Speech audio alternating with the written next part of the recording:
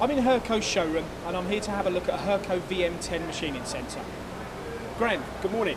Good morning, Paul. Tell us about the VM10. VM10 is our level entry machining centre. It's our smallest machine that we do.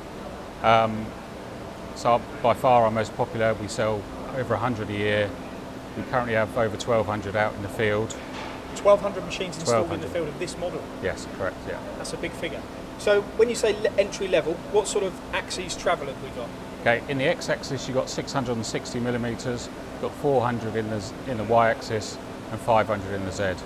And spindle speeds 10,000 RPM as a standard. as a standard. And then the tool changer, side arm, side mount. Yeah, swing arm tool change, 20 positions. Yeah. And then what about the control? The WinMax control is a very popular control in the industry. Um, what sort of features does this offer that maybe other machine tools don't have?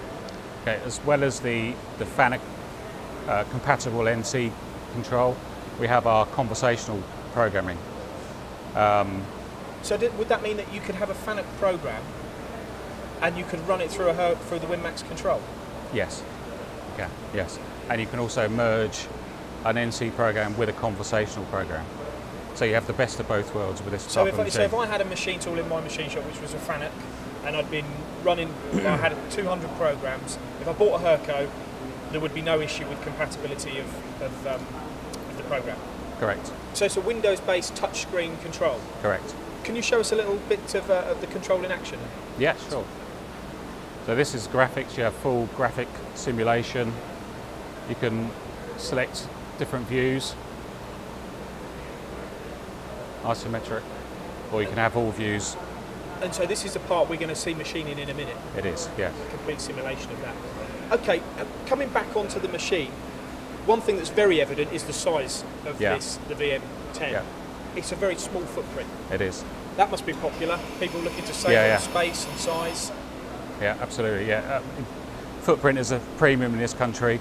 So it's 1.8 meters wide, 1.6 meters deep, Yeah. 2.5 meters high. Right. Right. Yeah, that is a small machine. That's a small footprint. Yeah. So if I was looking for a machining centre, what would push me towards a VM10? Why would I look at this as my favoured route? Okay. One is the footprint size. Two is the the the big travels. 660 in the X is quite big for a small small footprint machine. machine. It's got a 15 horsepower, 10,000 RPM spindle, so it packs a punch as well. So it's powerful. So it wouldn't just be a machine that you could cut aluminium on. You can actually use it for your more difficult materials as well. Absolutely, yes. It's very powerful. And then when we look at the spindle itself, is it a BT40 It's it's a CAT 40 or BT 40. through spindle coolant? That's an option, yes. That's an option. So I see this machine's also got probing. So this is for tool setting probes, but I'm assuming you can have workpiece probes as well. Yeah, this machine is, is um, it's got a, a wireless OTS 27 Renishaw touch probe. There's also an OMP 40 part probe. Part probe on the machine. Yes. Speed, another big factor. People are looking Yeah. for production. They're looking to reduce cycle times. What sort of? I know it runs on linear rails, so obviously that makes it a faster machine. What sort of uh, millimeters a minute have we got in the You rapid got, you got, yes, you're right. It's, it's uh, linear rails on all three axes, 24 meter rapids. Okay, well let's see this machine in action.